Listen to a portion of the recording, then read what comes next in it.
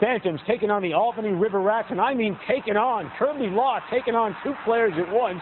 So look who comes to help. It's the goaltender, Roman Cechmanek.